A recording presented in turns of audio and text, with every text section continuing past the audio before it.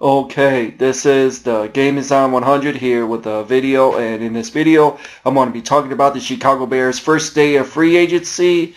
Uh, let's get started. The Chicago Bears signed uh, five players uh, today.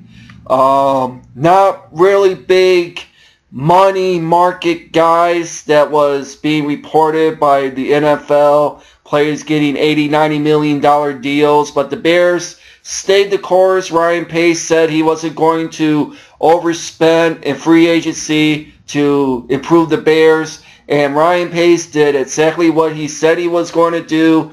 And it came out today that the Chicago Bears, I reported it yesterday, that Danny Trevathan was going to go to the Bears. And it was true. He signed with the Bears today. He signed a, a four, it's a four-year deal um, is uh, short of uh, 28 million range. The total value is 24.5 million with 12 million guaranteed money and 5 million signing bonus. So the Bears got him in the shorter range of 28 million. That's a good deal for uh, Danny Trevathan. He's basically going to get uh, basically 7 mil a year. That's over the average of four years. Um, good signing by Ryan Pace. He is going to desperately improve the linebacker position in the inside that the Bears desperately needed.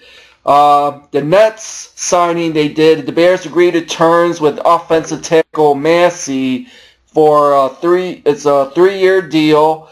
Um, apparently, this move right here is going to uh, bolster up the Bears' offensive line. And apparently, Kyle Long is uh, going to be playing back to right guard, and they're going to have uh, Bobby Massie be at right tackle. Um, we'll see what this does, but he's a solid player. He he played a couple of years. He came from Arizona.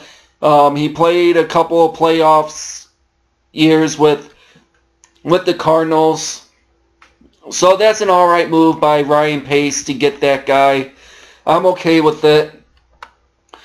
Uh, the three other players the Bears signed, they re-signed their own cornerback Tracy Porter to a three-year, uh, 16.5 mil deal. They also re-signed Jacquizz Rodgers and Nick Becton to one-year deals as well.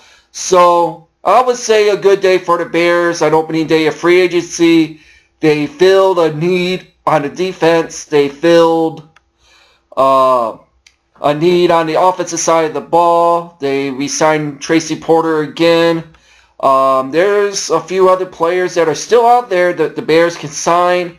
Um, it's being reported that the Bears are going to try to have a visit tomorrow with uh, Akiem Hicks tomorrow. Akiem Hicks hasn't signed anywhere yet.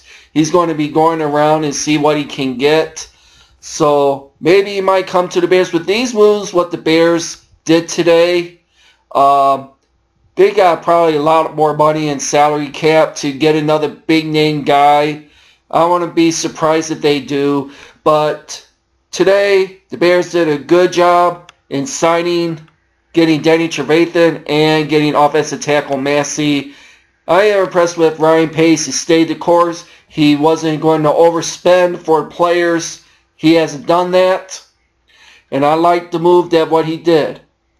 He said he was going to stay the course, that he's not going to be exploding the throwing out money in free agency. That's not how you do things. You you get the players that need to fill in while you rebuild your while you build your team through the draft.